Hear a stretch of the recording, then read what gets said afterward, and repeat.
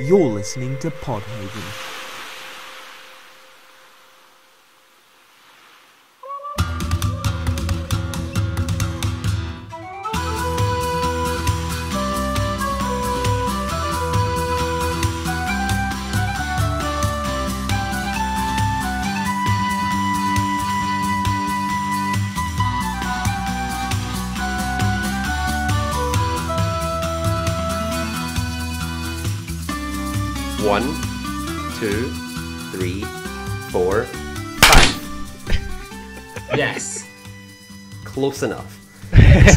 I didn't work with that. Should be a five second.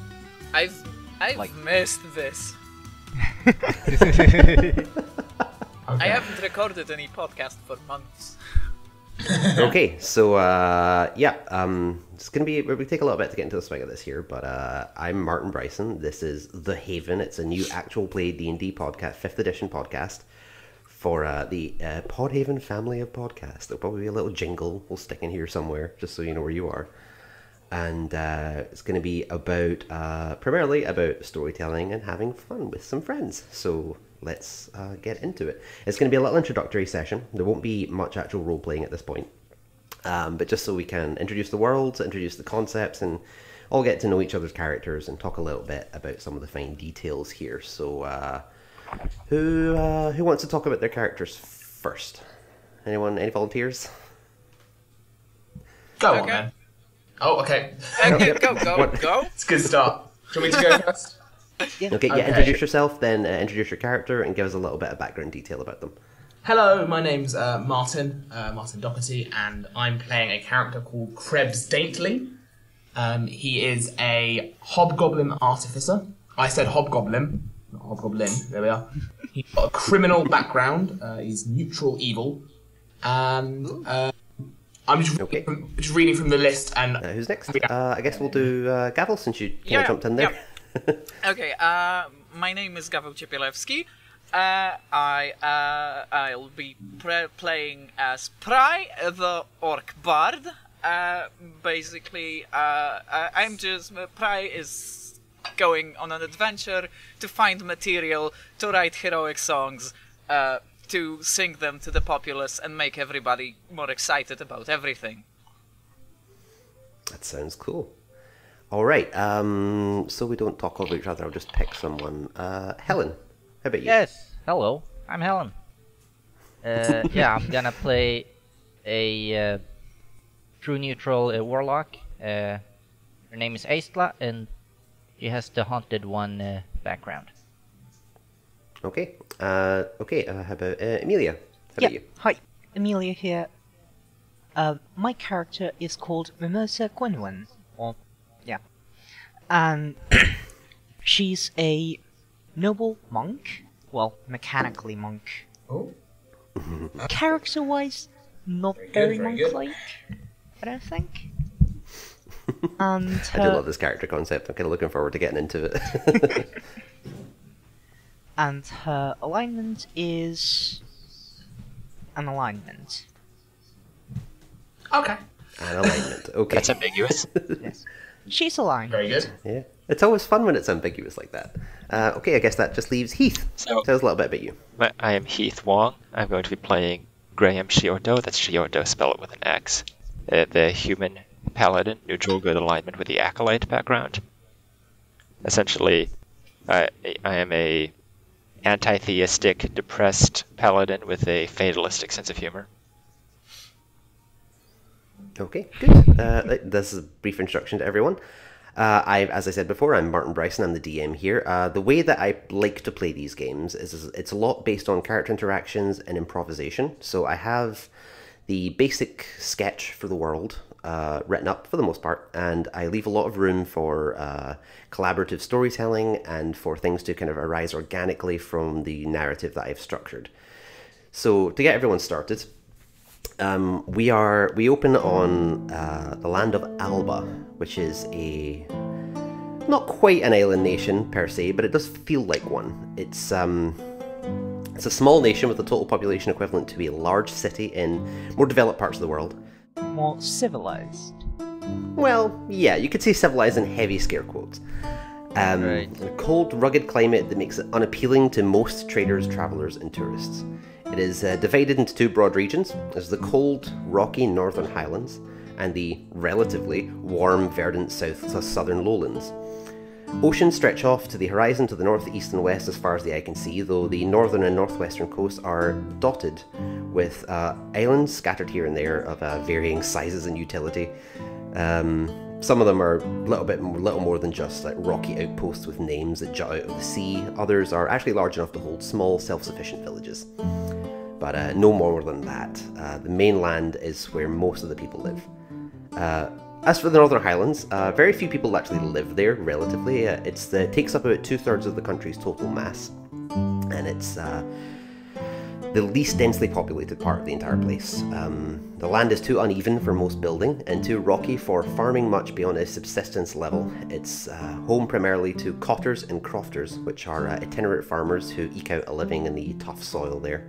Clan loyal military battalions taking advantage of the high land to build forts, fuel paranoia, and engage in petty skirmishes. Religious organisations there to either preach to the hard loving locals or for more specific religious questing, often for uh, artifacts or evidence of their gods, which we'll get into a little bit later. And archaeologists who spend their lives searching for artifacts of the of those old gods for fame, fortune, and occasionally academic interest. Scattered amongst them are bandits, smugglers, wizards who need privacy for their experiments, and mercenaries who see profit in protecting travellers from the dangers presented by the other three. The southern border has been closed by Alba's neighbouring nation, Kos, for many years, fed by belief that Alba is little more than a land of bandits and mercenaries that could raid and pillage towns in Kos's northern regions. Traders and adventurers with approved guild licenses, academics with special invitations, and curious noble tourists leveraging their connections to get exceptions to the rules are the most common people seen crossing the border into Alba these days. Very few people from Alba are seen crossing the other way. There is ample work for adventurers all over Alba, though they lack the formal guild structure familiar to those from Kos. What organisations do exist tend to be loose and ad hoc, usually formed to deal with one specific problem before disbanding. There are two adventurers organisations uh, that do exist and uh, and are more well established and more permanent. The Knights of the Rose Garden are an exclusive group of noble-born adventurers formed centuries ago, or so they claim, by one of Alba's major universities to protect and ex- execute their research interests, which can be uh, a little brutal from time to time and the Burn Folk, a small group based on the southern border that typically sell their services as guards, scouts, and guides for Cossian people travelling in the Highlands. Both of these are small and specialised, so rarely compete with the more common independent adventurers, but protect their interests aggressively if they're forced to. So you might at least initially want to stay clear of those two unless you have something to offer them. For independent adventurers like yourselves, uh, escorting, guarding, scouting, bounty hunting, artifact retrieval, and participating in Highland clan skirmishes are already all steady sources of income. For those who prefer the other side of the law, of course, there are always ample opportunities for banditry and smuggling if you have the stomach for it. Recent technological developments have begun to change things in Alba's largest settlements. The universities based there have collaborated on new magical research avenues that have led to the development of new lighting and tools, among other things. There are excited whispers among academics and those working with them about the potential of these new technologies, but so far little is known by the public at large. Beasts, monstrous beings, and highwaymen are part of life in Alba, especially in the more rural areas, and the relative development in the lowlands has done little so far to curb this outside of major settlements. Forests and isolated mountainous areas are particularly dangerous, and this has slowed and in some cases totally prevented the growth of settlements and farms in those places.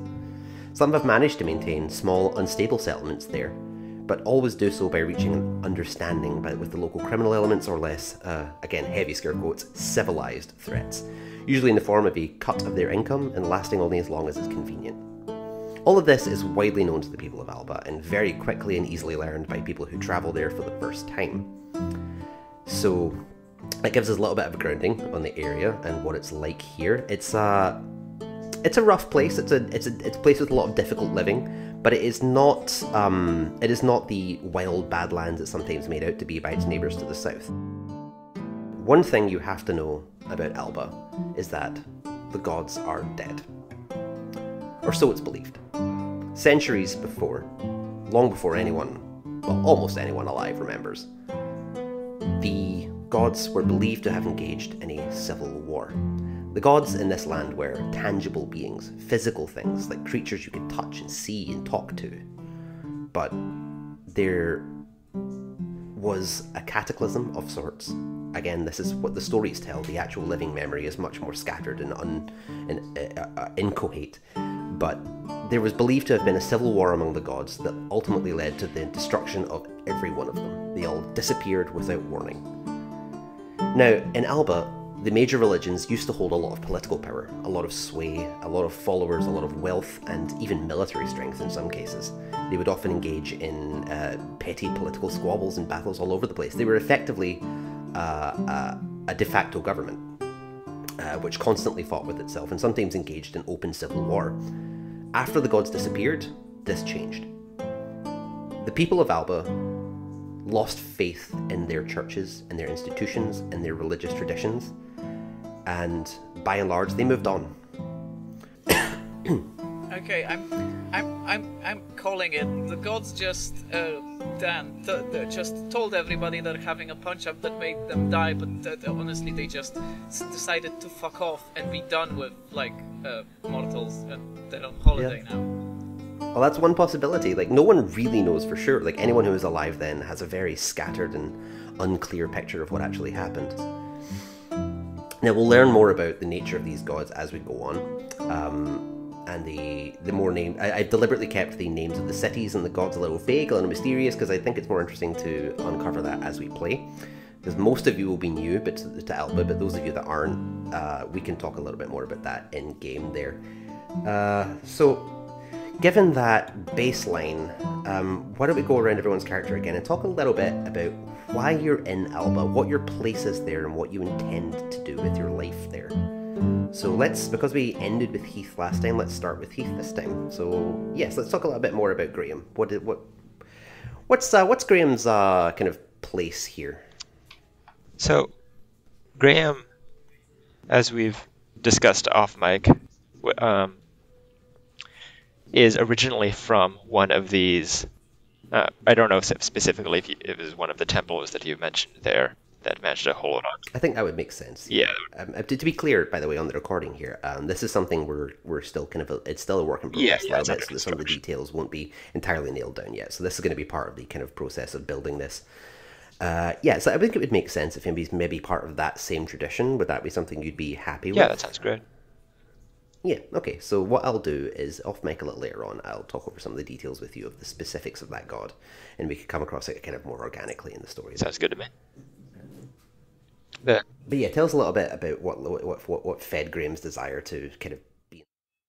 So, for the last several centuries, because he was a member of not only the people who his family was um, not only among the people who kind of kept, maintained this church and tried to keep its services operational and keep it from just falling into you know poverty and disrepair, but there was also I think at least a, a branch of them that that served as sort of temple guards who underwent a lot of martial arts and possibly mystical training and prep, um, mostly as tradition at this point, but nominally with, um, in preparation for some sort of holy war that they expected to happen when their god returned and brought them to glory.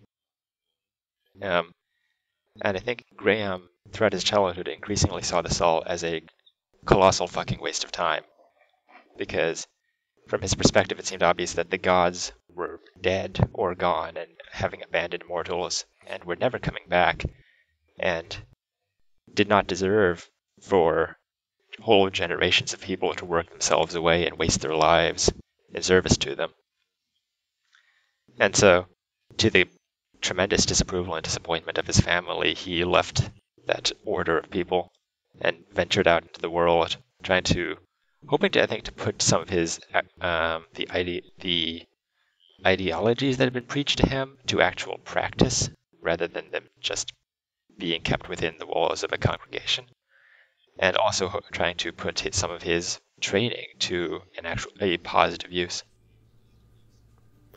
So would you say he's more of a more of a kind of get out there, help the poor type, or more of a protect the innocent kind of type? Um, I'm not sure he even knows yet because he is really he's searching for a purpose in life. But if, I I would imagine that he left the order not too long ago, maybe like maybe a few months ago. Right. So it's a fairly new. It's fairly new out here. Yeah. He's still kind of learning the ropes a little bit. He grew up cloistered and Yeah. isn't. Is kind of naive about the world Yeah. outside of his cloister. It, it wasn't so much there's this one specific task I'm going to set on and point myself to. It was more I just can't stay here, so I'm just going to leave and try to figure it out from there. Do you think he may be interested in leaving Alba? Potentially, yes. Um, I don't think he's ever really. That's something I, I did. I did. Yeah. Sorry, I'll let you finish. Uh, I, I don't think it because he, he's obviously never seen anything outside of Alba. He's, I think he had. I'm not sure he'd ever even really been outside of his um, city before. So I, I think um, venturing beyond the confines of that continent is something that would probably be exciting but kind of terrifying. Yeah, okay, that's a really interesting thing because for me, uh, the way I envision Alba is that it's a it's quite an isolated place, partly by design and partly by an accident of geography. It's not easy to get in and out of there right now, um, and but there are plenty of people there who do badly want to leave, just as many just as there are as many people who want to stay forever. Uh, it is, as I said, for many people in Alba, life is difficult um, but it is all, it also has its own kind of unique rewards that a lot of people really value. So I find that a really interesting dynamic for a character that's unclear if they want to stay or if they want to leave or if this is going to be enough for them. I think that's a really interesting thing for us to explore. Yeah. Um, okay, yeah. So let's work back up the line here. Let's talk to Emilia. Tell us a little bit more about uh, Mimosa. Yeah. So, Mimosa is an Alba largely because her sister Chardonnay upstaged her. God, Chardonnay. Fucking hell. Oh, God damn it! Is that is that going to be a theme through the whole family? Oh, and my my, ne- my nephew has arrived. Mojito. Is anybody in there called Appletini? Uh, I'd like to change. I'd like to change my character name to Appletini. Um,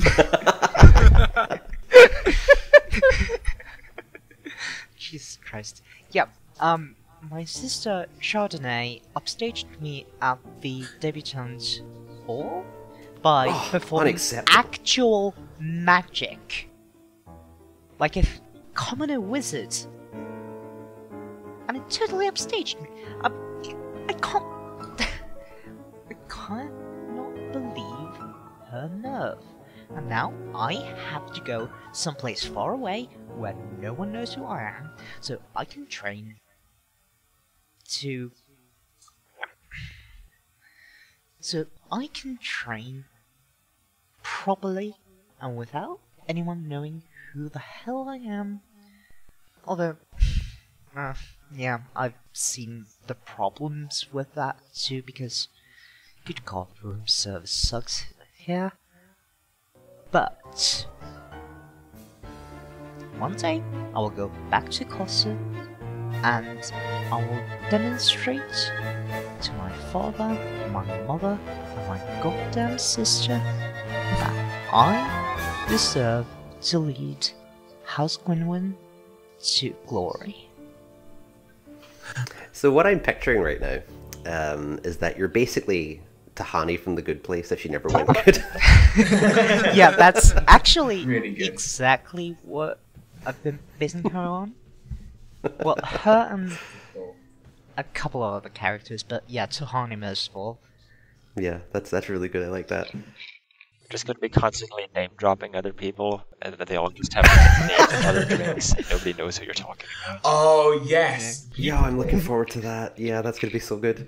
Um, okay, so what, what's um what is kind of Mimosa's situation right now? Is uh is she is she just arrived in Alba and still trying to figure it out? Has she been here a while and thoroughly miserable? I'd say she's been here for a couple of months. Mhm. Like Okay, right. Does she know why that- she's here? Does she know what she's doing here, or does she just kind of do it on a whim? Yeah, she mostly came to Alba on a whim. Like. But, like, when she got there, it, it dawned on her that once she'd spent all of her money on subpar goods, it was actually quite difficult to get back out, even though you know, hmm even though She's she is. she's discovered she something a lot of Kossians do uh, after they come here out of curiosity. Yeah. That it's not quite as easy to get back out as it was to get in. Yeah. Okay, yeah, that's interesting. Um, actually, I think because we talked about this and I really like this idea, talk a little bit about how you're envisioning the monk concept for your character. Oh yeah. So, the idea is mm-hmm. is that well,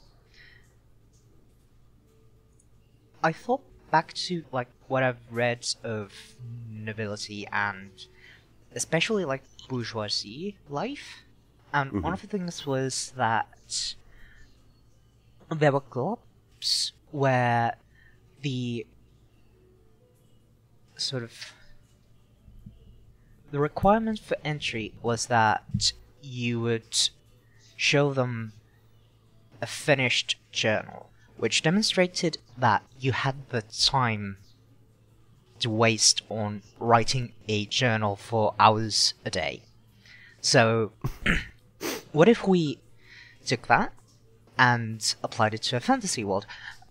And so the idea is is that the Kossian nobles constantly train uh, martial arts for the express purpose of demonstrating how much time they can waste on it.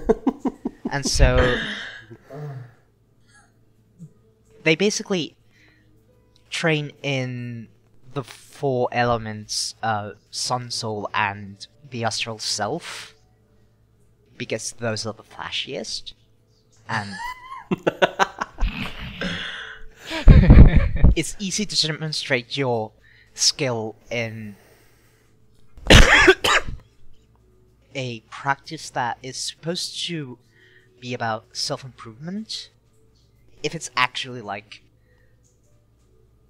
really glamorous and fanciful and it makes for a good show for your private friends at some lodge you've bought for the weekend. Brilliant. Yeah, I think the way I the way I talked about it before off off mic is that uh, it's kind of like an expensive yoga class, but with magic. yeah. Yeah, I, I'm really looking forward to getting into that. Uh, okay, so let's move on. Uh, okay, Hellen, tell us a little bit about your character. I've forgotten their name. Sorry. well, it's Eistla, and I also just actually Eistla, added a last right. name finally. So yeah, so it's Eistla So- Brennan now. Isla is a character we're bringing over from another campaign we did. Um, Sorta, yeah. I remember. Yeah, well, kind of Uh, yeah. adapted a little bit. Yeah, so like originally she was just kind of like some magnificent doomsday cult thing. Uh, but yeah, I kind of just yeah more for like, but more for like one shots. So I kind of made her more open for development and the like. So she's mostly just she's a haunted one, and that basically means that she's haunted by some terrible happening in her past. Uh, It's and the, this it's the edgiest of backgrounds. It's amazing. yeah, I I was like, oh, the haunted one. That, that, that sounds good. Oh wait, this is just the uh, edgy loner character background. Let's take it. wait, wait, wait. Are you fantasy Batman? Uh, no, no, no. But it's absolutely the background for fantasy Batman.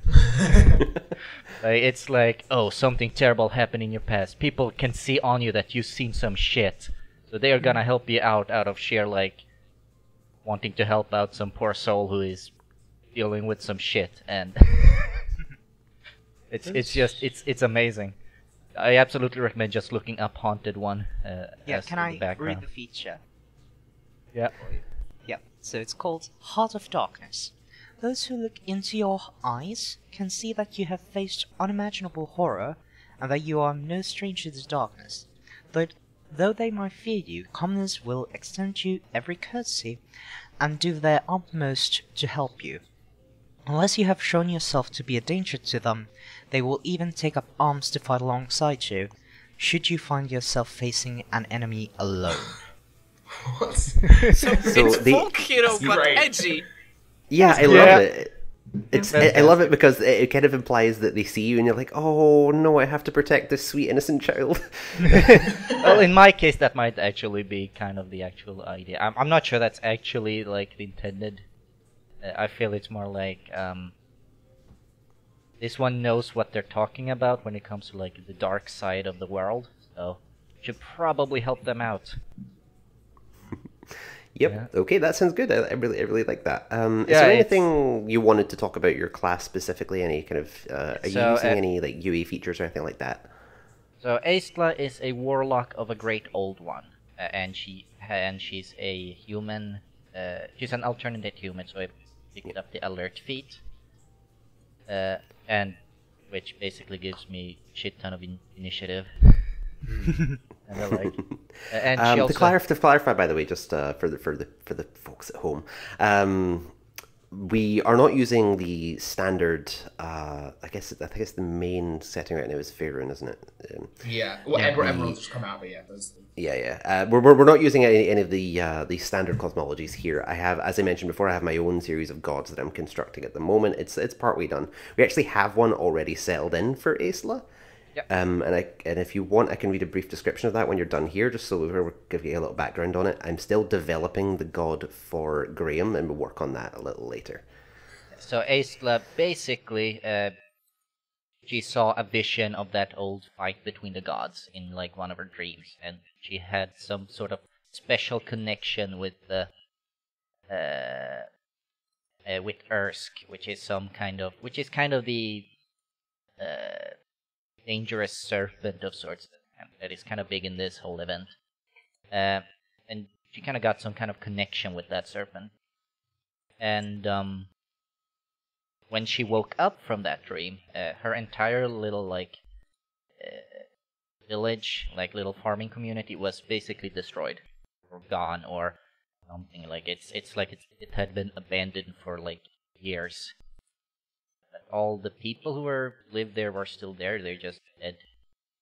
And that's basically why she's the haunted one, because now she's being followed by some shadowy figure that only Oh yes, and see. there was a, a ring, wasn't there too, that you? Yeah, uh, and you and uh, she also woke up with a bracelet in the shape of like a snake biting its own tail that you can't get off, and that has a bit of a glow to her, to its uh, eyes. Washing your Okay. wrists is a chore, I take it. Does it? Do, do- do you get a little sticky under there? A little gross? Is there? Is there a smell? That's just what? to, to, to, to, to it, it's actually kind of a, a, a backdoor Taz reference. Sorry. Oh, oh, of course, yeah. yeah. Um. Okay. Yeah. But while we're on that topic, let's talk a little bit about one of the two old gods that I do have definitively nailed down right now. This is Ersk Anglean Doirech. Uh, sorry, this pronunciation's bad. Ang- Anglean Doreinich. Uh, that's uh, Gaelic for Ersk, the Devouring Valley. Ersk was once a common feature in myths and religious ceremonies all over Alba. It is typically depicted as an enormous snake, often rising from deep in the earth or surrounding the entire land of Alba itself. It lived underground and usually served an antagonistic role in myths of the time, tricking and sometimes even devouring the other gods. It was also believed to bring apocalyptic nightmares to those on the surface, whether these served as warnings or just cruel sport was often ambiguous. What worshippers of Ersk existed often did so out of fear in hope that worship would appease the beast for a while. It was particularly feared by the dwarves of Alba, who believed that it moved through the earth constantly searching for a way to the surface, whereupon it would devour all living things. A dwarven settlement built into an island formed from an, volcanic, an ancient volcanic cap actually began as a temple dedicated to Ersk. The clerics there believed that the island was where Ersk would one day rise and, and held vigil over it to delay that event as much as possible. After the gods vanished, this purpose was forgotten and the clerics died out, the temple became a trading hub and then eventually grew into a town. This island that I mentioned is actually based on a real place. Uh, I can't remember the name of it now, but it is just off the coast of a place I grew up, so I just kind of had that in mind as I was writing it. You have essentially created fantasy Scotland. I, I did appreciate that. One. It's not it's it's not a one to one thing, but yeah, it's it's it's heavily inspired. It's for sure. fantasy Scotland. There's highlands that people are scared of, and that no one likes each other. I mean, that's Scotland. basically yeah. That does describe it pretty well. Yeah, it's based on an island. If, if anyone's interested, it's based on an island called Ailsa Craig, which is a uh, which is a volcanic cap uh, formed from centuries old, uh, millennia old, really. So yeah, um, a little bit of in, a little bit of uh, trivia for you there. Uh, who's up next? Uh, that would be, I guess, Gawel. I guess you're up next. Talk a little bit more about your character. Yeah. So, uh, Pry is uh, well. Uh, Pry was born into a family uh, with a tradition of, I would say, ass kicking. Like,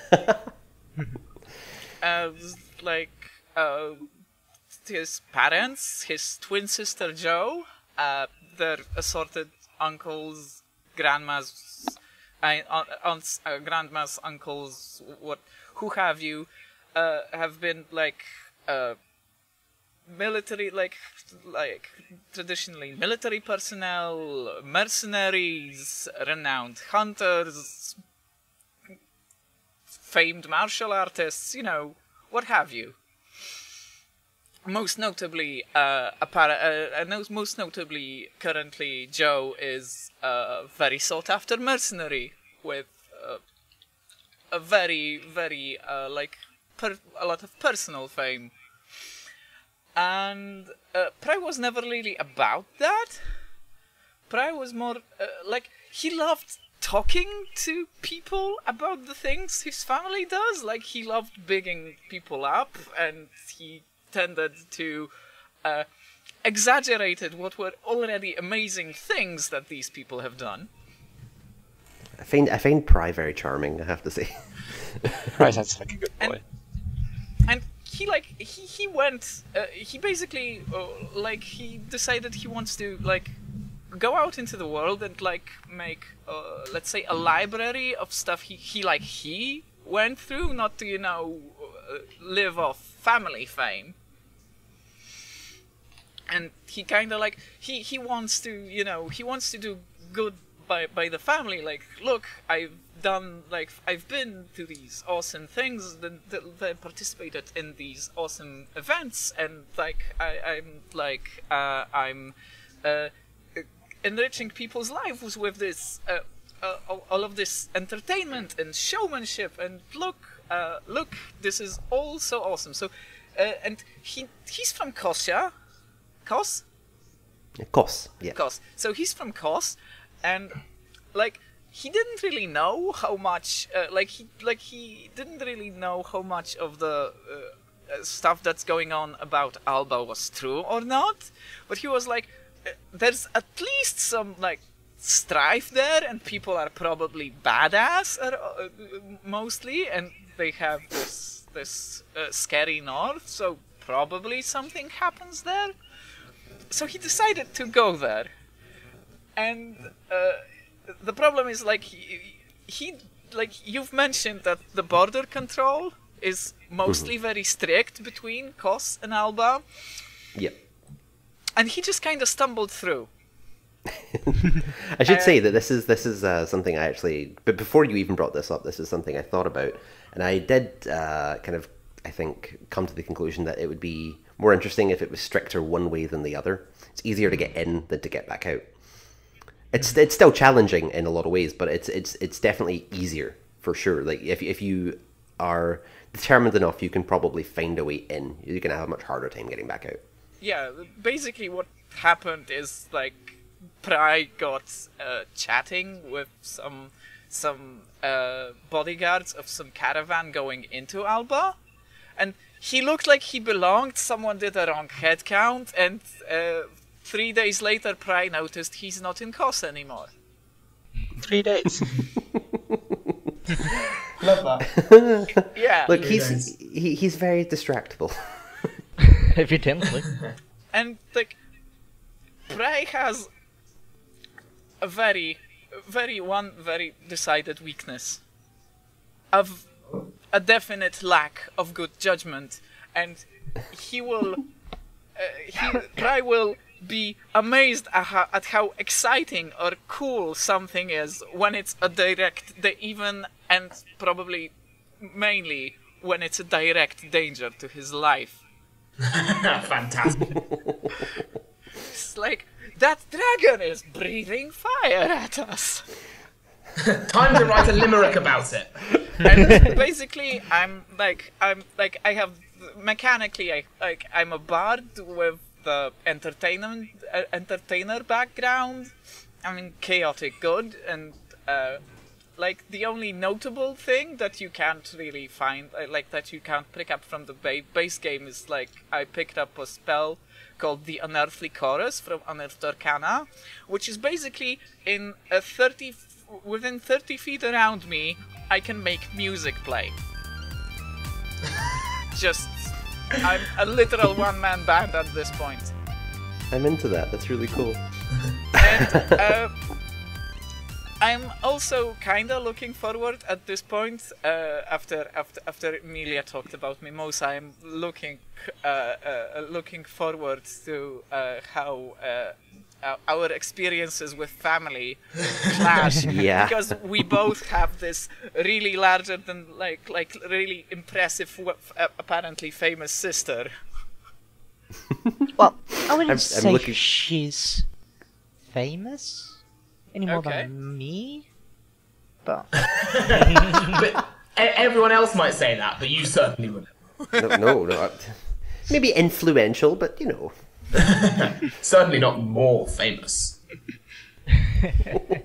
and I was and I was also trying to be subtle about the uh, uh, about the pun in their names. So you guys probably Oh, missed it. Pardon? Yeah. What? What's the What's the pun? Well, uh, my name. name is Pry, and I have a twin sister whose name is Joe. Nope. We're our parents, pride and joy. Jesus Christ. Fucking hell. Oh, that's good. Wow. Oh, yeah, that was that was good. Yeah. okay, uh, let's move on. Um, I guess that just leaves Martin. All right, uh, my name's uh, Crebbs Daintley. Crebbs Daintley. I'm a hob, hob, hobgoblin artificer, um, which means I make things. It's a new class released with the Eberron Rise of War. I think I, I, I dropped the uh, the accent there because I'm talking now about D and D books. That's not something a hobgoblin would be. Yeah, hobgoblin, which is normally a monstrous race, but um, in Volo's Guide to Monsters, they released some cool like um, player character st- stats for them. So I've got um, some cool features with that. Um, he's a neutral evil um, smuggler of specifically of magic weapons and items that aren't necessarily legal in whatever city he's from. Which I, I'm not quite sure how the cities tend to work in. We'll, we'll nail that down a little later. out. I want to introduce them out, kind of a little more Yes, organically in the event. Um, so we'll, we'll introduce it as we talk about it, and I'll tell you a bit about what you need to know in advance. So from that, he's got the criminal background, which I chose specifically because of one of the personality traits that was uh, on option. Normally, I don't like the stuff in the player's handbook for this, but in terms of uh, flaws, there is one um, for the criminal which says an innocent person is in prison for a crime that I committed. Full stop. I'm okay with that. full stop. which I really enjoyed. Um, but yeah, uh, I also got a criminal contact, which we'll uh, talk about a bit after that, um, which will be quite useful. Um, I think the way um, that the neutral evil kind of manifests in this character is, is a not dislike, but kind of an apathy towards people who aren't his friends or family, and um, alongside that, the, the, criminal um, criminal side, breaking various as many laws as there possibly is in this city um, that he's from, and yeah, that's kind of the whole deal. In terms of uh, to give you some insight, I because I quite like drawing, I've drawn a little mood board, and I've um, essentially I've got some ridiculous things like some uh, a wand with a scope. Um, I've drawn a a bag full of crystals, a lot of cogs with faces on, um, and I, I tried to copy the hobgoblin that's on um, it's in one of the D and D books, but I end up drawing in making him look a bit like Justin Timberlake, circa NSYNC. which wasn't quite the idea, considering he's got he's got a minus two charisma. But um, well, well, well, well, So he's not bringing sexy back anytime soon. uh, he's he's really not bringing sexy back. He's really not, unless it's illegal and he can make money from it. He's not bringing anything. Um, but yeah, I, I want to choose the artificer because it's a brand new. It's the first new class that's been officially released since 5e came out, and it's got some really cool little things in. Like um, you can make uh, level one. It doesn't really have that much, but on later levels you get some really cool stuff with um, yeah. And I think that's sort of yeah what I have planned out at the minute. Um, I want to kind of evolve it a bit more as, as we talk and play. Maybe would be ideal. Yeah, sure. Uh, the, this the part of the purpose of this episode is to kind of nail down some of the uh, the kind of fine details together. Kind of as as I mentioned at the beginning, uh, I want this to be in part a little bit collaborative. Yes. You know, I, want to get some of your input and some of the organic uh, things that come up during the course of telling the story to fill in some of the gaps. Uh, because even for people who lived and grew up in Alba, it's a very mysterious place. There's a lot that Yeah. not known. There isn't much recorded history. There's an entire religious organization whose job is to archive recorded history, but they're the only people doing it, and they've lost a lot of money and influence, as I mentioned, in the past centuries, and as a result, a lot of their records are also gone. So much of the recorded history of Alba is not known to most people. I want to use this kind of blank space to fill in something more interesting than I could come up with by myself. So I, will I'll have a framework. I'll have the, you know, the contemporary world of Alba, what it's like now for the people living there, the kind of things everyone would know, and we can fill out the rest as we go. I have ideas, but I want to I want us all to kind of guide this and work together on making it kind of much more interesting, much more personal to us. that's part of my mission in in doing this. I think so. That's that's really interesting. Um, yeah. So uh, I guess a couple of details about how the kind of the tone and feel of the game. Um, I we're all pretty familiar with the rules of fifth edition by this point. We've all been playing together for a while, um, and for those of us that haven't played together that much, we we do still know the game fairly well. So um, there will we will be while not strictly adhering to the rules. There will there won't be a level of discomfort learning them that we often get with with, with the actual play podcast sometimes. Uh, we're all pretty familiar with how it works, so we'll all know how to blend these or naturally into gameplay.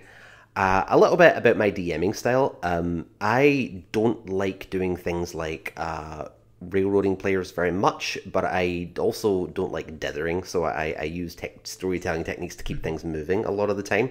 So you might find me like occasionally interrupting conversations with events or interrupting things that I feel are, are dragging on or taking too long, especially for a podcast format. Uh, you you don't want to lose narrative steam all the time. So I think that's it's, it's something that you you might find that you may, may come up a few times. There will be some homebrewing of the rules from time to time, but it will be fairly minimal because I want everyone who's playing and listening to feel like they can, can at least connect to a baseline of the story and then I can work with that. I don't want to be entirely introduced them to a totally new game or a totally new concept. You know, the, the, the, the basic fantasy species are the same the way the magic is basically the same. Uh, on a, a note, a note on that though, divine magic is different a little bit because in Alba the gods are gone and no one can communicate with them or contact them in any way. No one really knows how divine magic works anymore. In theory, it shouldn't, but it Out does. of spite. Well, possibly, yeah. I mean, that, that, that is a possible theory.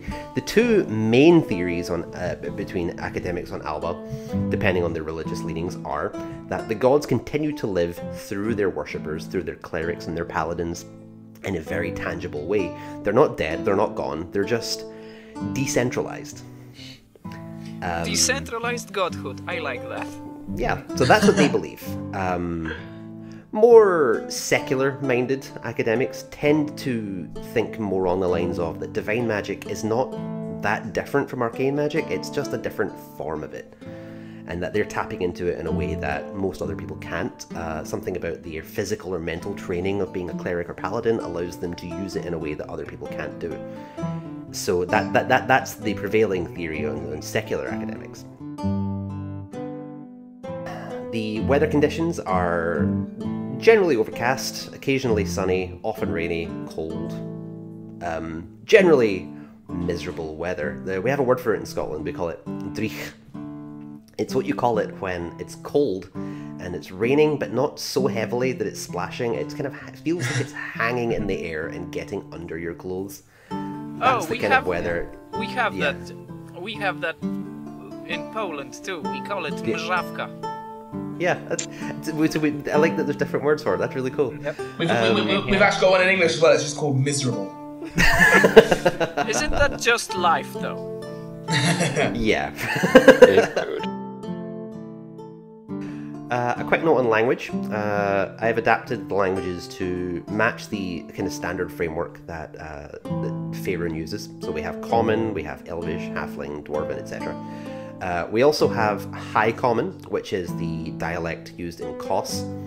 Um, and mechanically speaking, there will be different reactions from different people if you use it, depending on who they are and their background.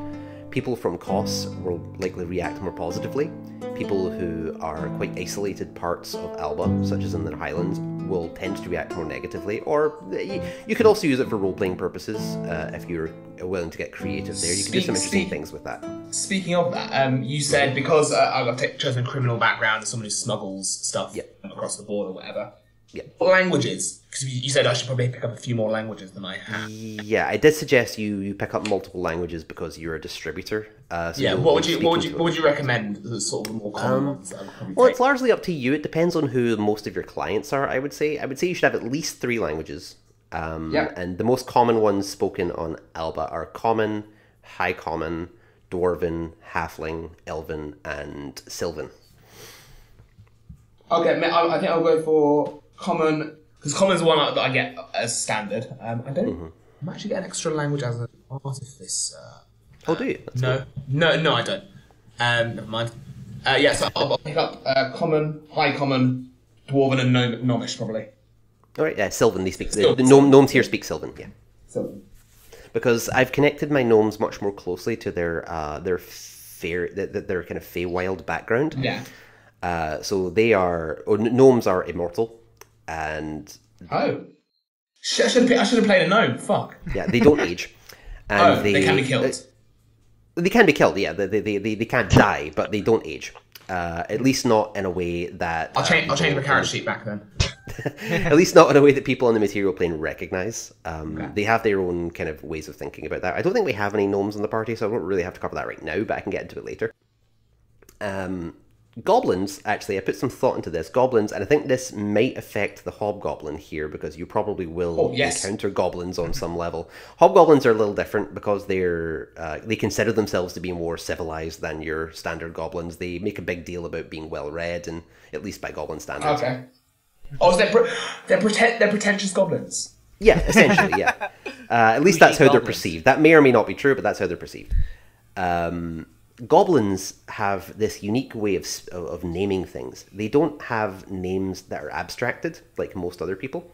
They instead use words or sounds that describe something about this uh, th- th- this particular goblin's personality or history and it is often like an onomatopoeic thing.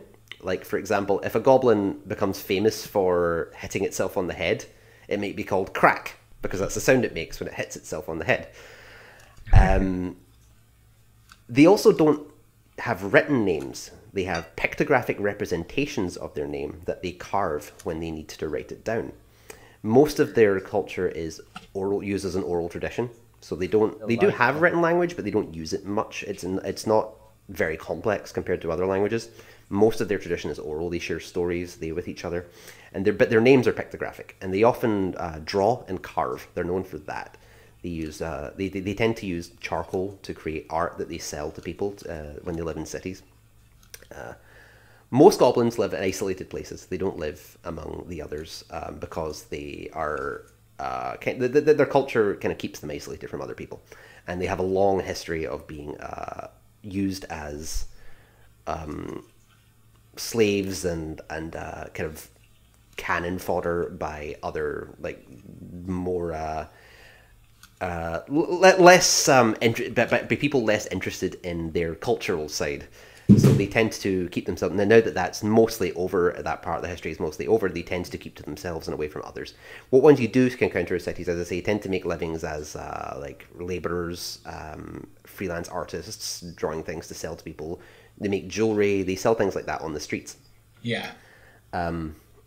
Yeah, but their language is largely pictographic. I find that I find that, quite an that's, interesting. that, that's well, that's that's very interesting because um, obviously with a name like Crebbs Daintley, um, I like to imagine that um, he, that he named uh, Daintley because um, he makes dents in things a lot when he's creating his yeah. artificer. But obviously, uh, his high com his written high common's quite poor, so he misspelt it dent as daint.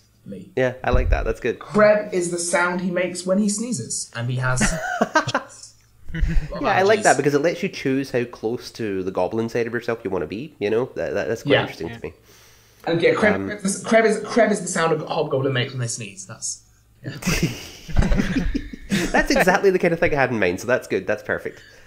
Um, yeah, I think that covers most of what I wanted to go into. Uh, yeah, so unless there's anybody else want to want to talk about anything while we're here.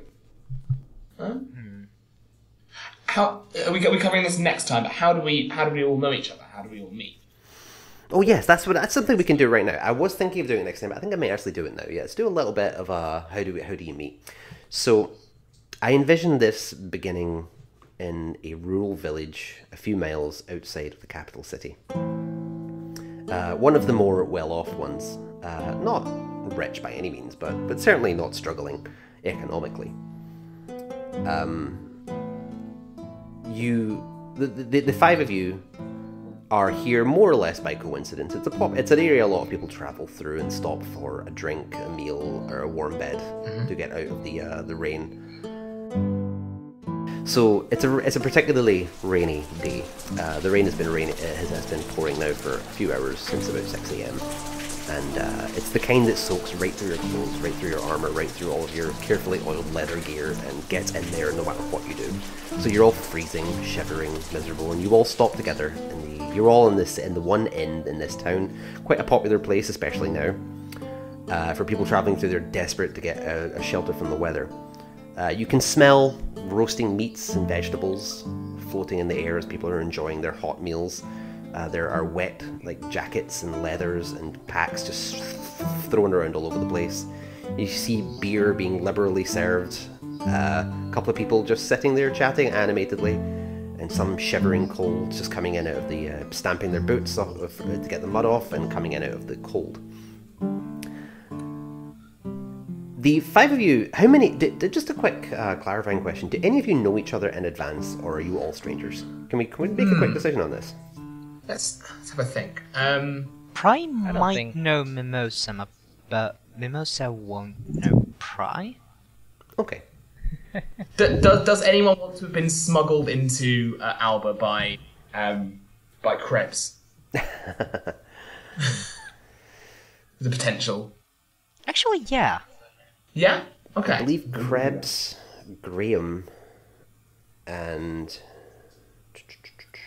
Eistla are locals, right? You're you're you're from Yes. Alba. Yeah. Yeah. Yeah, I'm from Alba. So Mimosa and Pry are from Kos, so they're out from outside. Yep. Um, out in this part of the country, Mimosa, your Mimosa and Pry, your accents don't stand out like uh, that much. They're, they're they're still not common, but people are used to hearing Kos accents out here, so you don't necessarily stand out that much. Um, but as the five of you are minding your own business and uh, No, no, no, in- no, no, no. You, You've already made a false assumption. We're in an establishment. oh, right, Yeah, I have this thing called by popular demand. right. You can always find a place to perform, usually in an inn or tavern, but possibly with a circus, at a theatre Okay. or, or even a noble skirt, etc., etc. You receive free lodging and food of a modest or comfortable standard as long as you perform each night. In addition, your performance makes you something of a local figure. When strangers recognize you in the town where you have performed, they typically take a liking to you. So my point is, is I'm trying to barter my uh, my performance skills with the uh, with the innkeeper for uh, for food and board. Ah, you have the, um, the, the the special bard feat that allows you to um, stop the, the uh, uh, any conversation about resting and just uh, with the performance check and goes wrong. I've played a bard a lot. Well, we won't do the check right now. We'll assume that right now you've you- you've been you've been doing this a little while. Maybe you've even been here before the others arrived. So Pry Pry was already there performing for free room and board and a little, a little bit of uh, local attention. And the yeah. four of you have uh, kind of trickle in through the door at various times to warm up and get out of the rain, to eat, and find a place to rest if need be.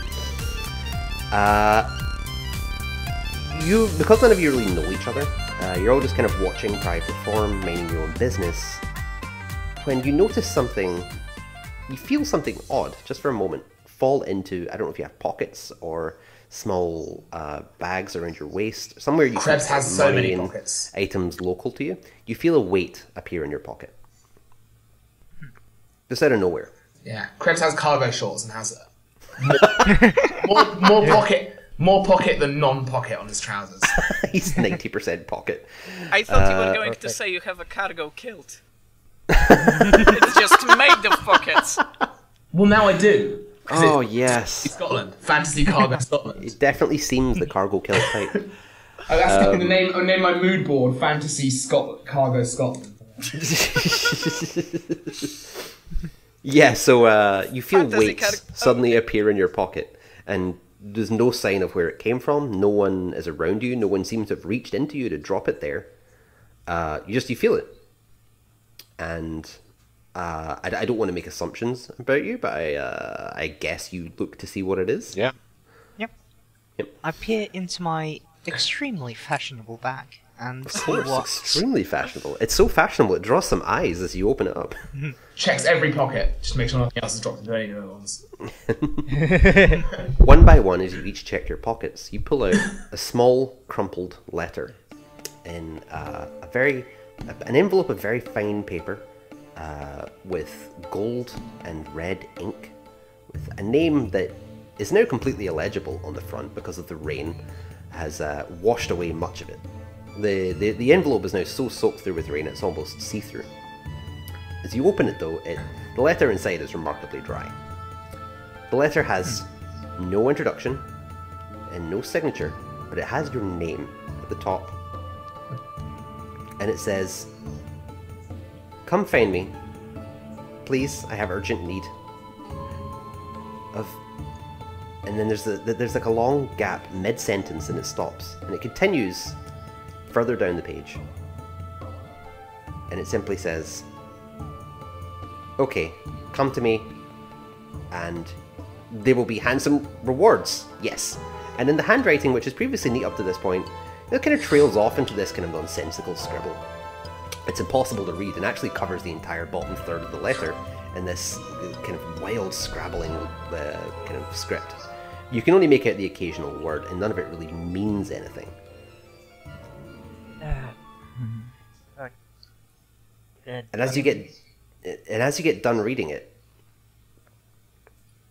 you hear a sound outside, a voice yelling, "Hey, come on out!" The weird thing is, no one else reacts, and it takes you a moment to realize that only the five of you can hear it. Am I still And- playing? You're, st- I mean, you. It's up to you. I mean, would that stop you playing? No, no, no. But I think I'll finish the song, take a bow, mage ma- with like mage handing my cap with a feather because I, I, I have a hat with Very a good. feather. Very good. So you both you you all hear the voice yelling for you to come outside. No one else reacts or even seems to hear it.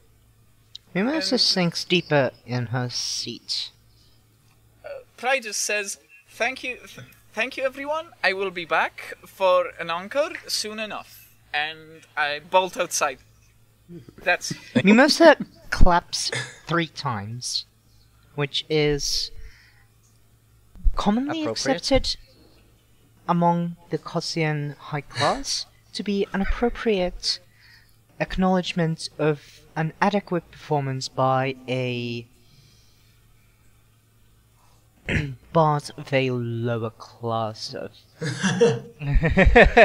Um, Crebbs, Crebbs would like to look down at the letter, look back up and look down at the letter, look towards the voice, and then sneeze because he's allergic to the type of parchment it's written on, and then and, and then walk and then walk outside. Pry is already outside. Okay. How does everyone else react? We know with him and Mimosa. Um, how about Graham? What does Graham do with all this? Graham hears the voice, he looks up in confusion and stands up from where he's sitting, grabs his weapon, and starts sidling towards the door, mumbling kind of awkward apologies to the people he jostles along the way. Just like, Like trying to get to your seat yeah, in like, the movie oh, theater. sorry, sorry. Oh, spill, you know, he spills somebody's soup, and it's like, oh, sorry, I'm sorry. Heath, have you made yourself in D and D? Don't call me out. Don't we all? Though it doesn't always come back to that. Eistla, I I think she's just kind of like stuck in her drink for a bit. Mhm. She doesn't really acknowledge the ending of the music before she just kind of moves up and just drinks her drink. And she's just so tired of strange voices. And now there's another one. Yeah. and it's just like, ah, fuck, god damn it, yeah, let's get this over with.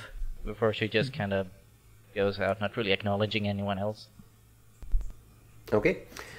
As each of you steps outside, you're greeted by a gnome standing in the mud, soaked through with the rain, looking with nonetheless with a big bright smile on his face. And he greets each of you individually as you step outside. None of you know who he is, you've never seen him before. But he greets each of you each of you by name. Graham, Mimosa, Eistla, Pry, and Crebbs. I was expecting someone bigger. Yeah, and he kind of he kind of runs runs up to you and shakes each of your hands in turn. And say, "Okay, fantastic. I'm glad you're here.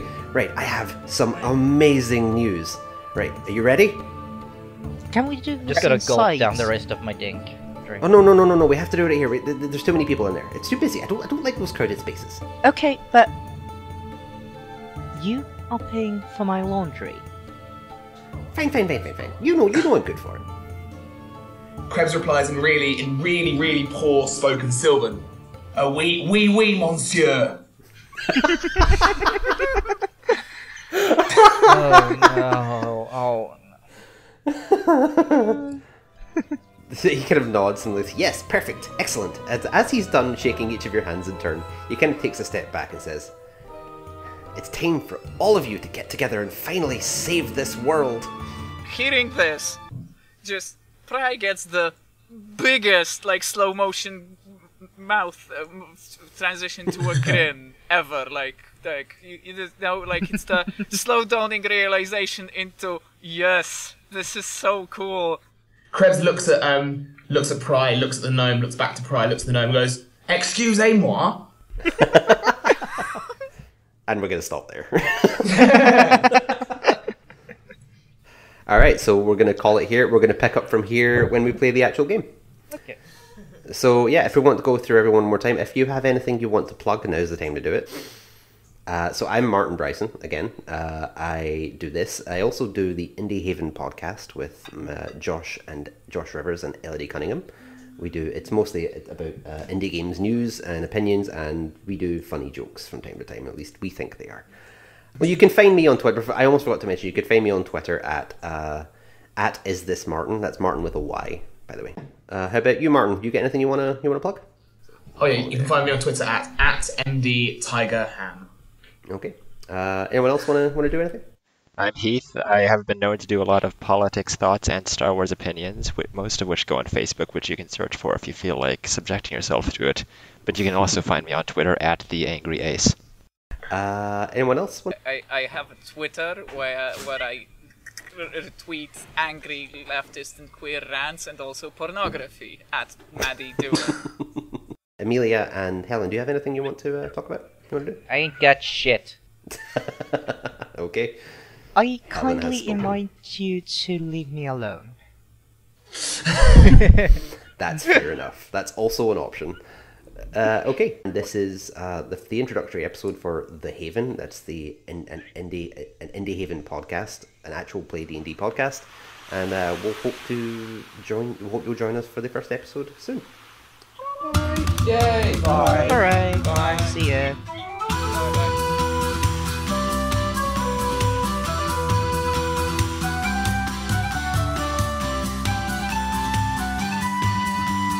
Thank you all so much for listening. Music for today's episode comes from Rebecca E. Tripp, Garpocalypse, and Dark Flame Wolf at ocremix.com, Kevin MacLeod at incompetech.filmmusic.io, and Indie Haven's very own Elodie Cunningham at chemicalwordsmith.bandcamp.com. Track listing and attributions information can be found in the description below. See you next time.